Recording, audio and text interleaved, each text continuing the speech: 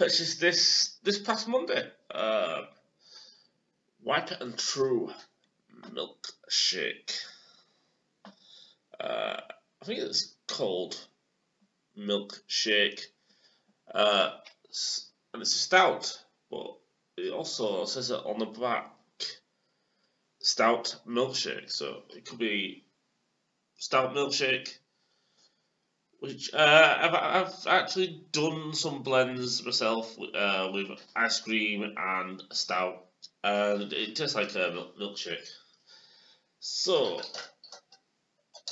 yeah, I purchased this past week. Um, brother took me to Beer House in Ossett. Uh, but for £3.15. Andrew picked this beer out for me to try. I purchased it. So.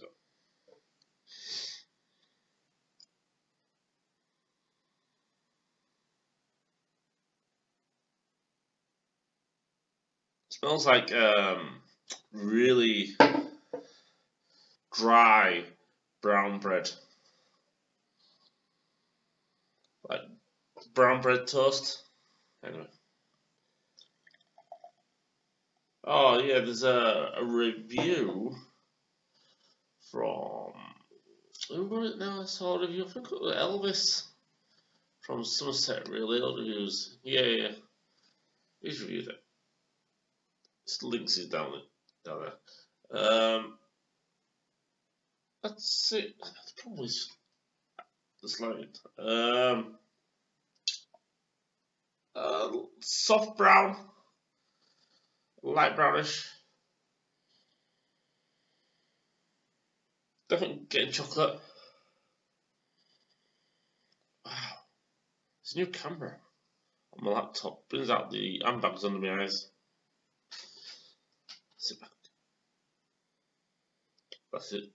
A disadvantage of having to really get up early at job. But yeah, chocolate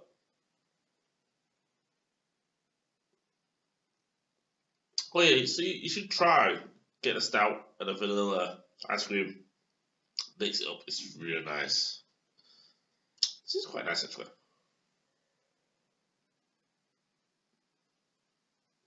Um, anyway, it's a sweet stout. It's a milk stout.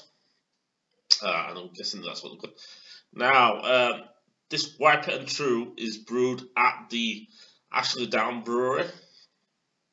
Um, the brewery is was founded in 2011 using a 3.5 barrel plant in his own garage.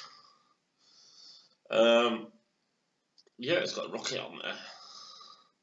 It's pretty cool. Well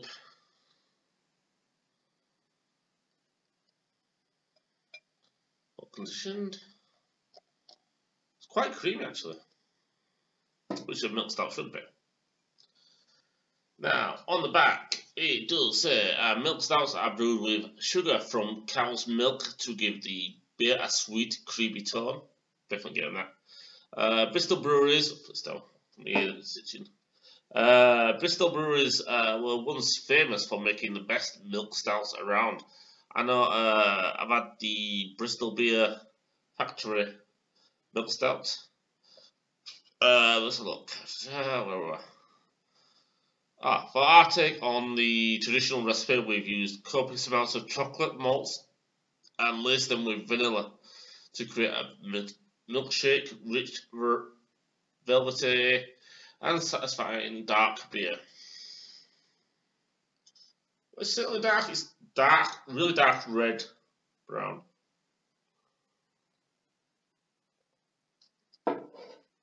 Um, moving on. Uh, this is the IBUs are 20. Uh, this is batch number 3 and it was bottled September the 1st, 2014. So it was quite fresh. Um, final thoughts. Fresh, very nice, very silky, really milky.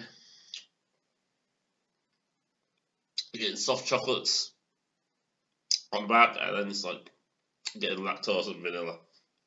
Very nice beer.